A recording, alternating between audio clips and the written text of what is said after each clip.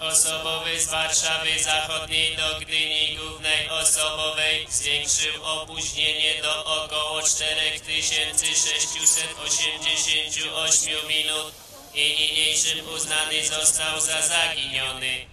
Jedziemy na Woodstock i e, już nam się piwo skończyło. Czego się spodziewamy po 20 Woodstocku? E, Marleya, Marleya. Przyjeżdża syn Marleya. Mhm. Wspaniała rzecz. Wspaniały koncert będzie. Easy Drinkers e, e, i Bednarek oczywiście. Pierwszy raz w życiu. Czego się spodziewasz? No właściwie dobrej atmosfery i to tylko tyle. Nie było jak wcześniej się te sprawy! Ale... Dobra, ale teraz trzy dni luzu chyba, nie? Ale no jasne, że tak, ale potem praca, cały czas. Ale przede wszystkim picie to jest życie, praca to głupota. Robota to głupota! Robota to głupota, przepraszam. Czego spodziewasz się po tym festiwalu? Chyba nie pierwszy raz. Zabawy to na pewno.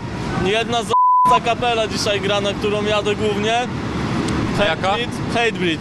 Będzie mąż, będzie na nie i tyle. No, więc ogólnie dobra zabawa, chill out, jak zawsze. Co was skłoniło do tego, żeby tam pojechać? To już 20 festiwal. jest za... warto pojechać, nie? Wiadomo po co. Pokój i wszystko. Jest, A jakiś wykonawca ulubiony? nie wiem, Kajmani Marley, Ja lubię dobry Tila. koncert będzie. Pierwszy raz 4 lata temu byłem, to No właśnie, jeżdżę co rok. Telewizja, Także czy bardzo fajnie. RTV Lubuska.